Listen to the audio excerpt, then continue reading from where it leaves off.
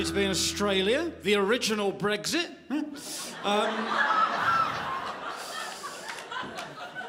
now, uh, I, uh, I had a breakup recently and I tried to conquer the funk by uh, going to the gym, right? But I ended up making things significantly worse. Uh, I went to spin class, right? But it wasn't until this particular day I realised my favourite bit about spin class is that bit at the end where you stagger off the bike, you lock yourself in a toilet cubicle and you just start pissing blood.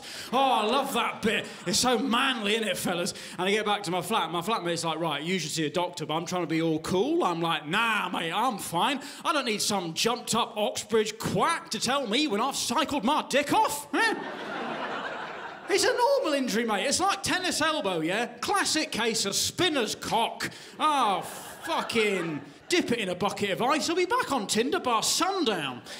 Anyway, about an hour later we're at A&E, right? Uh, because the problem with the phrase blood in the urine, I mean, that implies there was urine in it, you know. And this was rich stuff, fellas.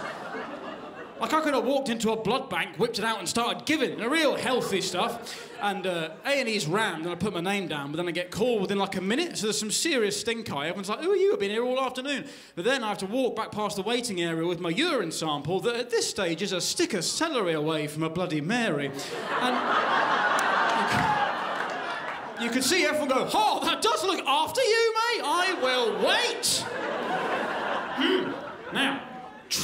Induced prostatitis. That was the verdict. And I told the doc about the spinning, and he was like, Well, that'll do it, but your prostate would need to be enlarged had there been any sexual activity. Now, I had been on one of my first dates since the breakup the night before. Uh, anyway, she stayed over and given me a hand job in the morning. But you know, when you're talking to a doctor, you want to use like science words. you know, doctor asks if you've been having sex, you don't just come out there like, oh yeah, I've been crushing pussy all night, doc. Oh, for God's sakes, come on. The man's a scholar. you don't darken his door that filth, huh? You keep it clean. You say, oh yeah, I had full consenting intercourse with a, a fair maiden, you know, but. Well, I'd not had sex, you see. I didn't know what the technical term was for getting jacked off by some chick off Bumble. So I just said masturbation. He was like, all right. But then I was like, but not me. A girl did it. And he was like, it doesn't matter, mate. And I was like, no, no, it definitely does matter. Like, I didn't wank till I came blood. That's not what happened. She did it. She did it. Fill out a police report. That two-bit Bumble witch ripped my dick off, man. He's like, please stop shouting. It doesn't matter. Now, you're going to come back here to get two procedures, right? First procedure, you're going to send a camera about that long in through the hole in the end of your penis all the way to your bladder. The second procedure is a prostate exam done by hand going in through the anus. He then said, Mr. Taylor, have you got any objections to these procedures happening on the same day?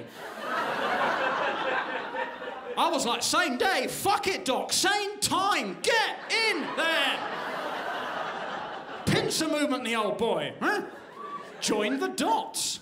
I... I'm not wanting to stop until I can see the finger up my arse through the camera you've shoved down my cockhole. Huh?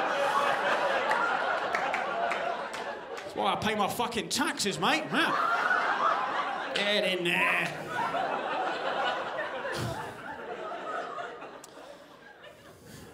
Breakup wasn't too bad though, you know, it healed pretty quickly. It healed pretty quickly.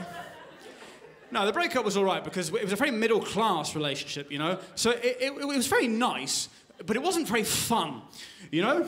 You know what I'm talking about, Melbourne. It's numbingly pleasant. That's how I describe a middle class relationship. I do get jealous of more working class. I guess you'd call them bogan relationships. I feel like it must be more exciting just because the adrenaline, you know. Scratch cards, bankruptcy, meth. I mean, there's so much going on, you know. Whoa. What a roller coaster. But we used to get into arguments at farmers markets, me and my ex. You know, I remember this one time we were at a farmers market and it was cash only and we only had a fiver. And she wanted to spend it on this like handcrafted coconut milk soap.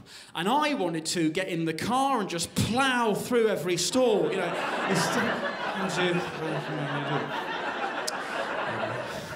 Remember, then we went to a vintage furniture shop.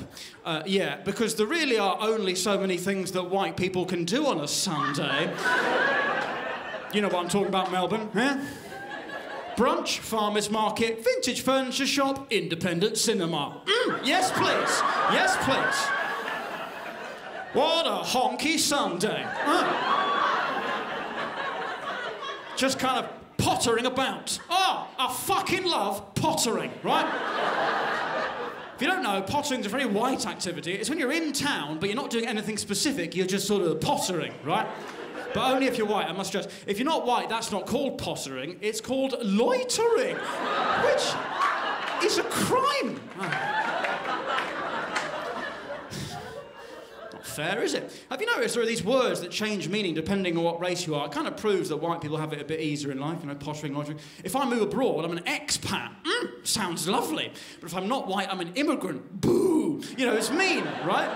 Mean. What's another one? Dabbling. That's a very white word, isn't it? A word you only really hear white people say, you know. Do you play the piano? Well, I dabble. Uh, I think it basically means no, but I am white, so I can do anything.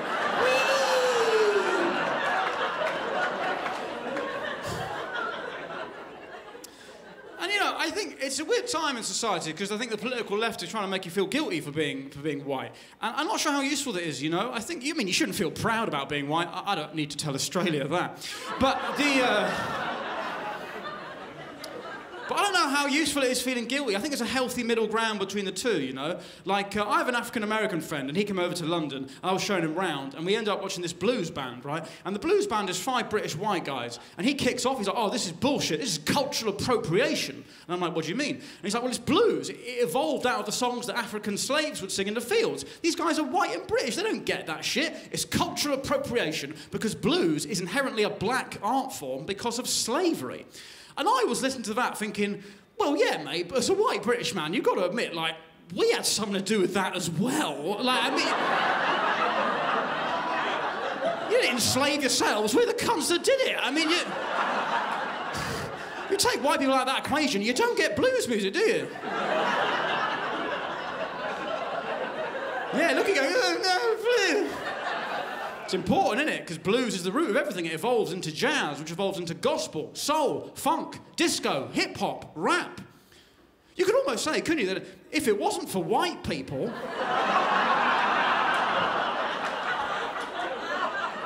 music would be terrible, wouldn't it? It'd be awful.